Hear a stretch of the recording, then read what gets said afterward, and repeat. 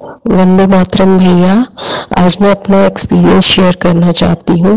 आपके बताए हुए घरेलू उपचार से मुझे मेनोपास के दौरान होने वाली एक्सेस ब्लीडिंग में आराम मिला। आपने जो मुझे चार पाँच चीज़ें बताई थी, मैंने उसमें से एक चने के बराबर फिटकरी, उसको पहले मैंने फुला लिया था। उस फिटकरी को मैंने पानी में डाल के दिन में दो तीन बार वो लिया था और एक पानी के अंदर सौंफ मुलट्ठी और धनिया। ये चीज़ें डाल के, पानी उबाल के ये लिया था। आपने मिश्री भी बोली थी, मेरे पास मिश्री नहीं थी, मैंने यही तीनों चीज़ें डाल के ले लिया। तो दिन में एक दो बार ये लिए दो दो बार तो लिया ही था। और दो दो दो बार फिटकरी का पानी लिया था। और एक चावल भिगो के, और वो पाँच छः घंटे बाद मसल के वो पानी दिन में एक बार ये लिया था। तो ये मैं लगातार लेती रही तीन चार दिन, और मेरे को आराम मिल गया। धन्यवाद।